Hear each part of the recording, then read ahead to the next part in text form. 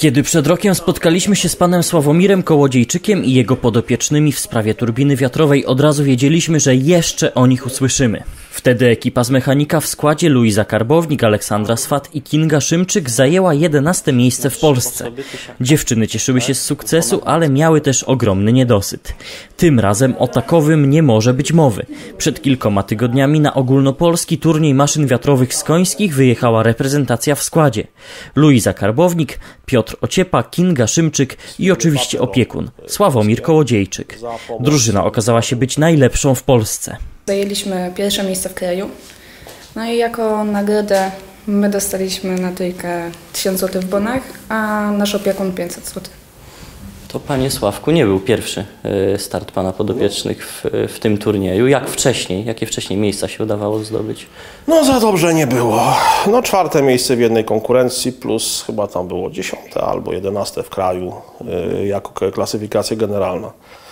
No, w tym roku poszło ciut lepiej. Konecka turbina, którą przez ponad dwa miesiące konstruowała opisywana grupa, nie miała sobie równych w dwóch konkurencjach. W trzeciej także była w czołówce.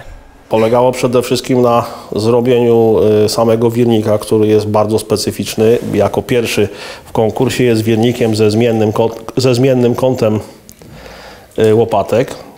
On automatycznie zmienia kąt łopatek w trakcie pracy i dostosowuje się do obciążenia. To było właśnie jego jedną z podstawowych, jednym z podstawowych atutów. No, poza tym korpus, dyfuzory, prawda? Więc jednak praca trwała y, trochę. No oczywiście pół roku myślenia wcześniej. Projektu. Tak, zanim, zanim wymyśliliśmy e, rozwiązanie. Przyznam, że najtrudniejszy był e, do opracowania układ, który przestawia ten kąt łopatek. No to dość taki zaawansowany i cwany układ mechaniczny. To znaczy najważniejszy był w tym sam pomysł, bo było kilka rozwiązań, ale wszystkie byłyby tak strasznie trudne do zrobienia, że je po prostu odrzucaliśmy, eliminowaliśmy. No wreszcie y, trafiliśmy na pomysł, który był możliwy do wykonania, a jednocześnie skuteczny.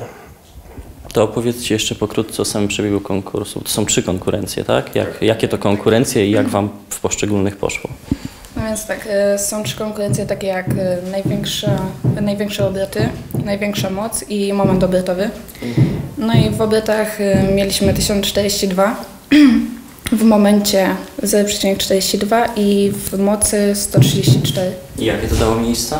Ym, Za moc i za obroty pierwsze, a za moment chyba czwarte. Albo szóste. Tak. Jakoś tak nie pamiętamy bardzo, bo już z wrażenia, żeśmy nie sprawdzali tego ostatniego. Tuż po dwóch konkurencjach wiadomym było, że drużyna z mechanika zostanie mistrzem Polski.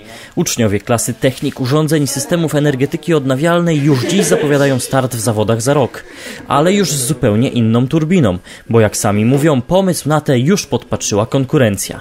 Warto dodać, że w tych samych ogólnokrajowych zawodach udział wzięła też ekipa gimnazjalistów z zespołu szkół w Stadnickiej Woli. Nasi młodsi uczniowie w finale nie zajęli znaczącego miejsca, ale są oni mistrzami województwa świętokrzyskiego. Polskiego.